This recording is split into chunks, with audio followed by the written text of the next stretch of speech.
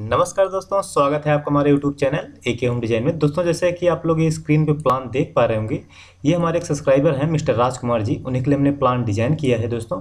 अगर आपके पास भी कोई प्लाट पड़ा है, आप भी बनवाना चाहते हैं प्लीज़ हमें कमेंट करके ज़रूर बताएँ। आप हमको फेसबुक पेज और इंस्टाग्राम पेज पर भी फॉलो कर सकते हैं। उसका लिंक हम आपको नीचे डिस्क्रिप्शन में दे देंगे। तो आइए डिस्कस कर लेते हैं इस प्लान के बारे में। तो ये प्लान जो है 12 बाई 25 फीट 8 इंच है एक्चुअल में, लेकिन हमने यहाँ पे लिखा है 12 बाई 25 ही लिखा है, लेकिन एक्चुअल में 25 फीट 8 इंच इसका जो गहरान है 25 फीट 8 इंच है और इसका जो फ्रंट है 12 फीट है।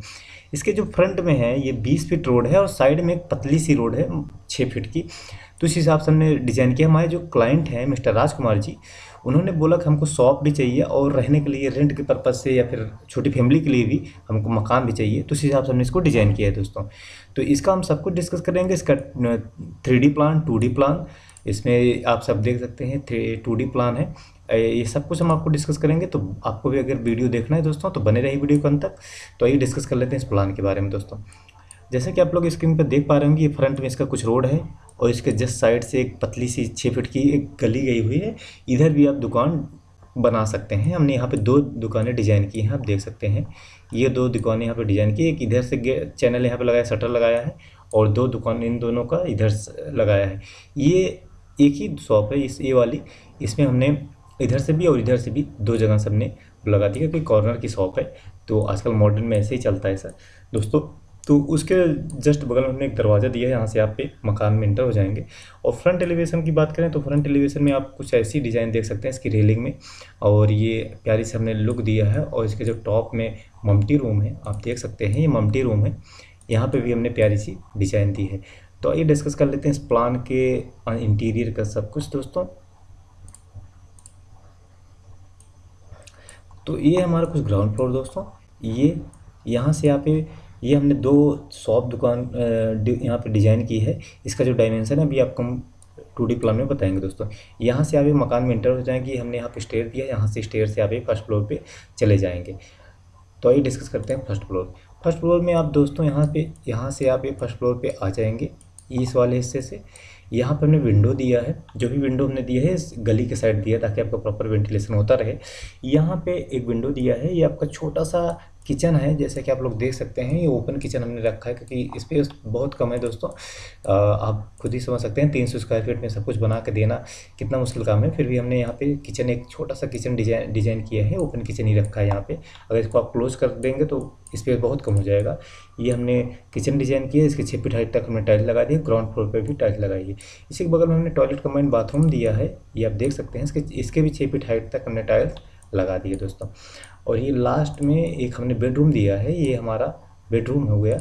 और इसकी भी जो दीवार है, इस पर हमने थ्री डी वाल पेपर लगाया है। और यहाँ पे सामने हमने एक डोर दिया है, यहाँ से आप ये बाहर आ सकते हैं, यहाँ पे आप बैठ सकते हैं, आपका बालकनी के रूप में आपका हो जाएगा। यहाँ पे हमने एक विंडो दी है और इस, इसका वेंटिलेशन को एक विंडो यहाँ पे लगा दिया और ये यहाँ पे एक वेंटिलेशन को एक विंडो यहाँ लगा दी है टॉयलेट कम्बाइंड बाथरूम में।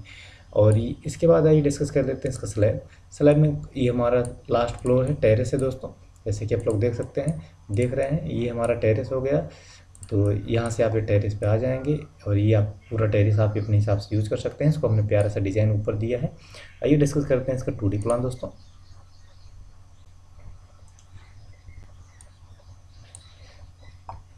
तो ये हमारे जो क्लाइंट है, मिस्टर राजकुमार जी हैं, एक हमारा ग्राउंड फ्लोर है।